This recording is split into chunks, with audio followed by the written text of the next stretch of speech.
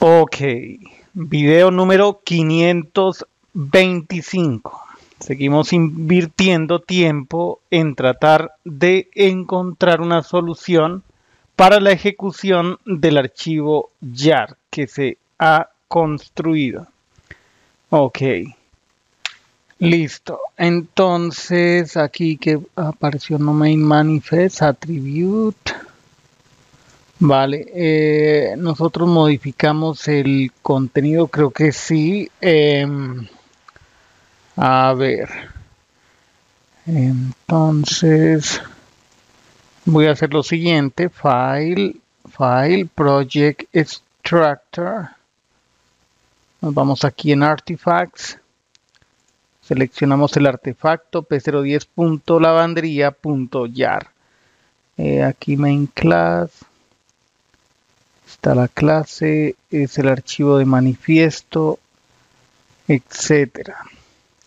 Preprocessing, postprocessing, hasta ahí todo se ve bien. Aparentemente todo se ve bien y además que la configuración por defecto.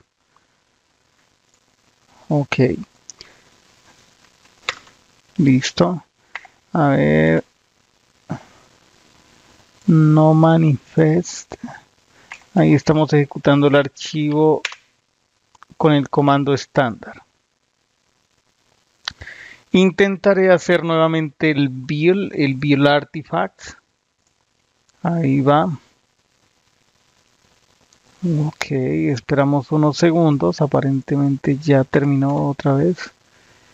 Aparece de nuevo el mensaje queues by java.lang class not found exception. Copiaré ese mensaje y nuevamente abriré el buscador, el navegador para buscar en internet. Listo. Eh, escribamos aquí build artifact eh, IntelliJ pues esto está ocurriendo es en ese editor. Dicen Artifact Build with IntelliJ.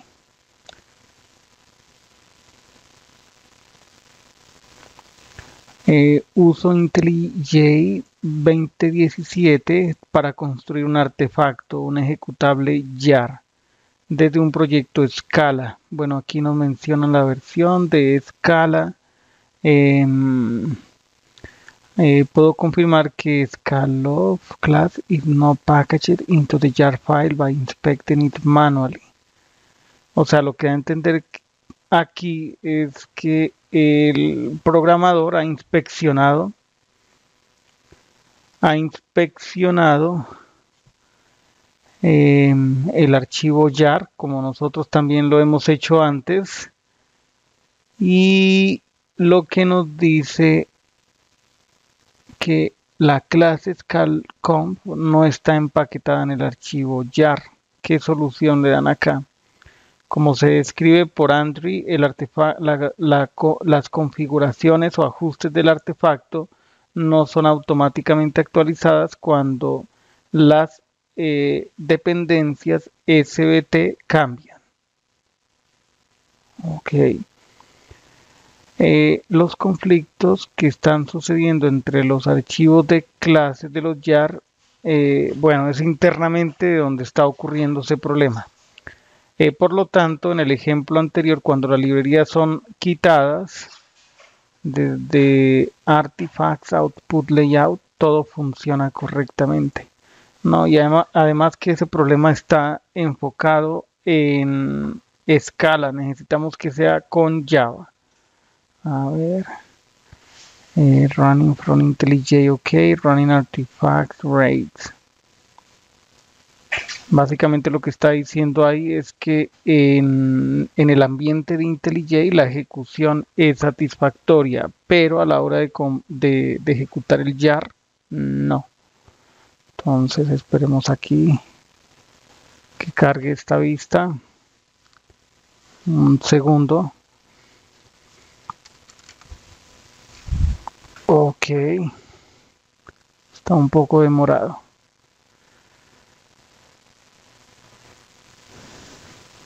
Use this I have go a JavaFX project that on startup loads an XML file and construct classes by JAX. This work fine. Em, tan, dice que todo funciona bien, que tiene un proyecto JavaFX que carga al inicio un archivo XML y construye las clases a través de JAXB, digamos de manera dinámica. Dice mi, mi proyecto se ejecuta bien dentro de IntelliJ, pero si yo, si yo construyo y, ejecuto los artefactos, obtengo un error class exception. ¿sí? Eh, ha, reconstruido todo el proyecto, ha, limpiado, ha creado, ha creado los artefactos desde cero. Em, y la excepción no ocurre dentro de IntelliJ. Vale, veamos a ver qué nos dicen por acá. Cute dice es usualmente causado por la falta de dependencias o una versión equivocada del archivo jar en el class path.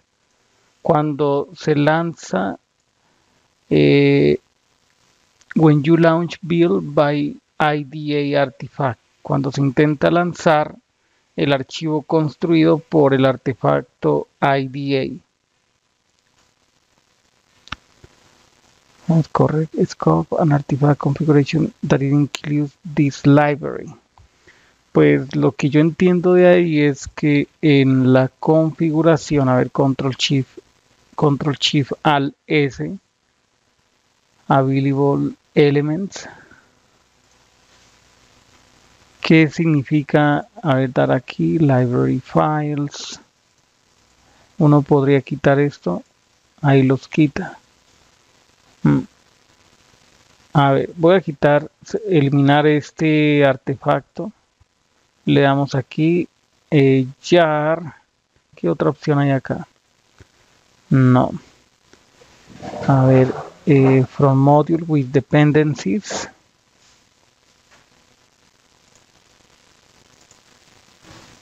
Hay dos opciones. A ver, cuando le decimos aquí jar from module with dependencies aquí indicamos la clase principal que es la de gestor lavandería guy.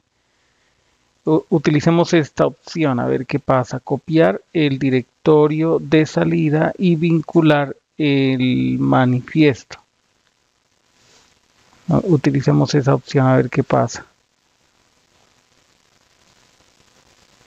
A ver qué sucede. Output root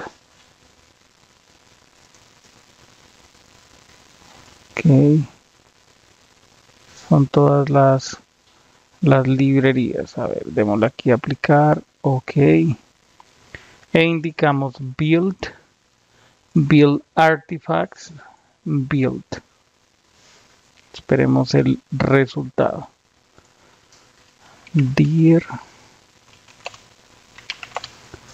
Parece que el resultado, a ver, donde queda out artifacts ya quedó vacía esta carpeta. Entonces ¿dónde está? Eh, exploremos el proyecto en el manejador de archivos Open in Explorer.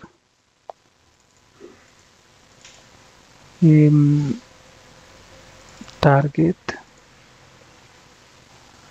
artefactos y aquí estaría esta mm, la el archivo p010.lavandería voy a ver su contenido específicamente el archivo de manifiesto view file y básicamente el class path son básicamente todas las librerías que necesitamos.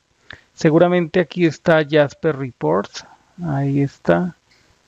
El timing framework em, el swing time picker ok. El iText, no encuentro jQuery, aquí está jQuery Forms que sirve para el layout de tipo formulario. A ver, entonces, ta, ta, ta, ta, voy a abrir esta, copiar esta, esta ruta, nos desplazamos hasta ahí,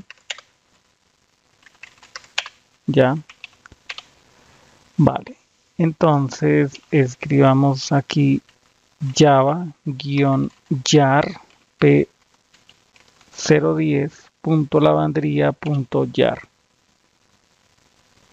y de esta manera la aplicación sí se ejecuta. Entonces, eh, este sería un camino viable. ¿vale? Aquí le podemos decir iniciar sesión. Em, escribamos a ver Iván arroba mail.co. Voy a ubicar la contraseña. Ahí está. Listo, inclusive podemos ver los resultados, accede, a la base de datos, la reconoce. Y básicamente tendríamos que empaquetar todo esto. O lo otro que se me ocurre es modificar modificar el archivo, el manifiesto para que quede de esta manera cuando la compilación se hace utilizando eh, el otro mecanismo, en donde todo queda empaquetado en un único archivo. Ok, ahí la aplicación es totalmente operable. Vale, entonces voy a hacer un commit que diga aquí em, archivo de manifiesto actualizado. Control Enter, Control P. Hemos logrado esa ejecución. Bueno, eh, cuando sea necesario distribuir la aplicación tendríamos que copiar todo esto, todo este contenido. ¿Vale? Em, podemos pensar en un medio que permita crear un archivo ejecutable eh, para Windows. Haremos el ejercicio para esa plataforma operacional en donde ejecute este archivo y todo esté empaquetado, todas estas librerías estén empaquetadas ahí mismo. ¿Vale? Ok, inclusive podríamos tratar de crear un instalador. Un, un, instalador, para eso existen librerías. Ok, entonces por ahora dejamos hasta aquí y continuaremos en el siguiente video.